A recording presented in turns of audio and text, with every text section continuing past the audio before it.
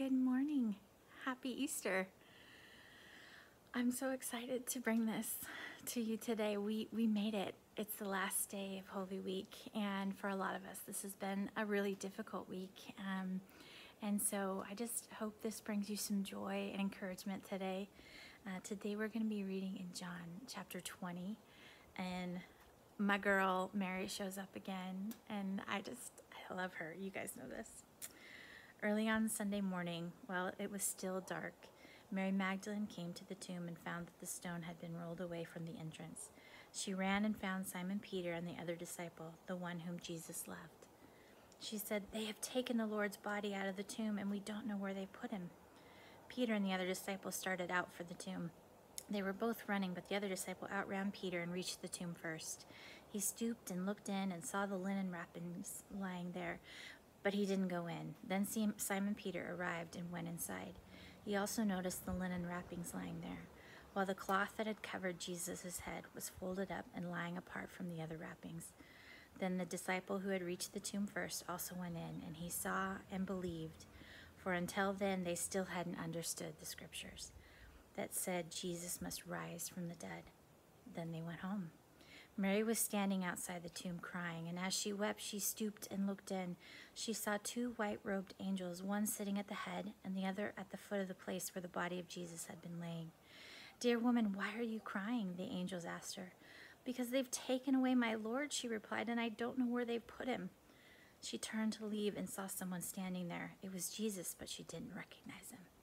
Dear woman, why are you crying? Jesus asked her. Who are you looking for?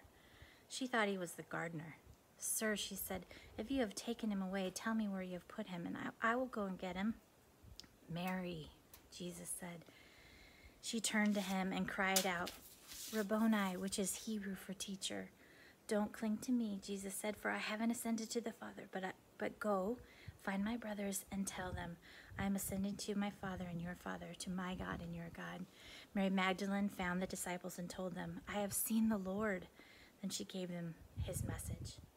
That Sunday evening, the disciples were meeting behind locked doors because they were afraid of the Jewish leaders. Suddenly, Jesus was standing there among them. Peace be with you, he said. As he spoke, he showed them the wounds in his hands and his side. They were filled with joy when they saw the Lord. Again, he said, Peace be with you. As the Father has sent me, so I am sending you. Then he breathed on them and said, Receive the Holy Spirit. If you forgive anyone's sins, they are forgiven. If you do not forgive them, they are not forgiven. One of the twelve disciples, Thomas, Thomas was not with the others when Jesus came. They told him, We have seen the Lord. But he replied, I won't believe it unless I see the nail wounds in his hands, put my fingers into them, and place my hand in the wound in his side. Eight days later, the disciples were together again, and this time Thomas was with them. The doors were locked, but suddenly, as before, Jesus was standing among them. Peace be with you, he said. Then he said to Thomas, Put your finger here and look at my hands. Put your hand in the wound in my side. Don't be faithless any longer. Believe. My Lord and my God, Thomas exclaimed. Then Jesus told him, You believe because you have seen me. Blessed are those who believe without seeing me. Wow. Hey, you know, friends, some of you have been on this journey and, you know, you like the paintings, but Jesus isn't your thing. And I've been praying for you specifically.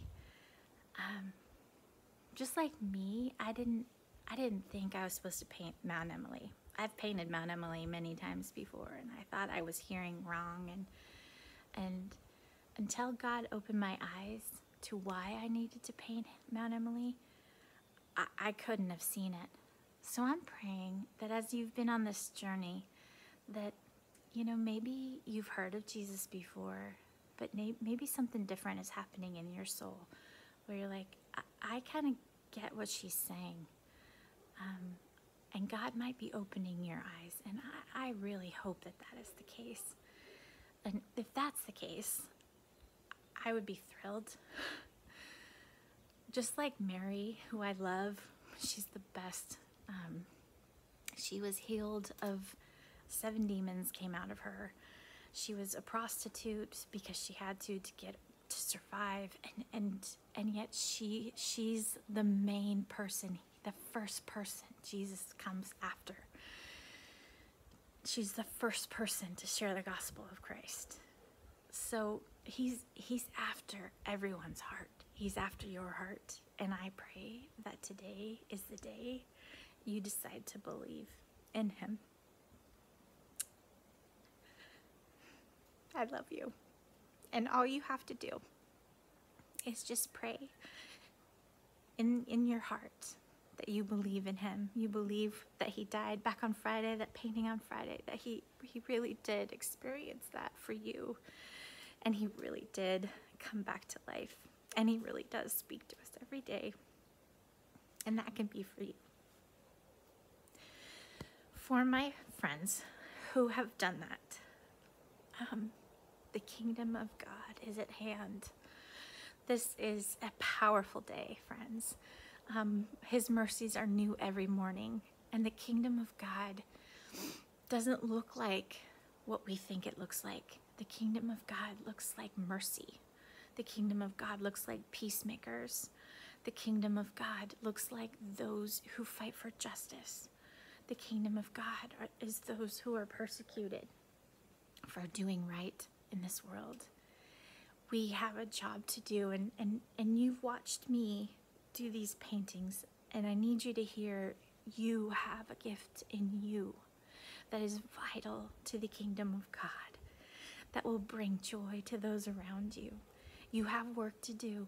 Our, our world um, is God's creation, it's His world. And it's our job to reflect the light of Christ back to those around us. We are called to love our neighbor as ourselves, to do good to all. And I pray on this Easter that the renewing of your heart to God, the renewing of your heart to God, would be like this painting, where God's always been in the background. That gold leaf is representative of the Holy Spirit. God, this is His creation. He's always been in the background, and and He shines through. And when we when he when the sun raises up and shines on us, we are reflectors. That's our job. Is just to reflect back what he's done in our hearts. And I pray that this this Easter, so many of you I know are going through difficult times. I pray that you could reflect back to God even in the dark times and reflect back to God even in the good times because there's a world that's dying to meet him. And we need to be like Mary. We need to be like Mary. He's the great gardener. It's no no joke that she says, I thought you were the gardener. He is the ultimate gardener, and he wants to create something new in you. And and to, to do amazing works in this in this world, mir- miraculous things. We can move mountains. Our faith can move mountains. And I pray that um, this Easter would just be a blessed time for you and a time that you reflect back on the miracle of what He's done for you and that you submit and say, God, you're the boss of my life. I want to walk forward today, moving in how you want me to live, doing your work and and growing in you. So I love you. I've been praying for you. And thank you for going on this journey with.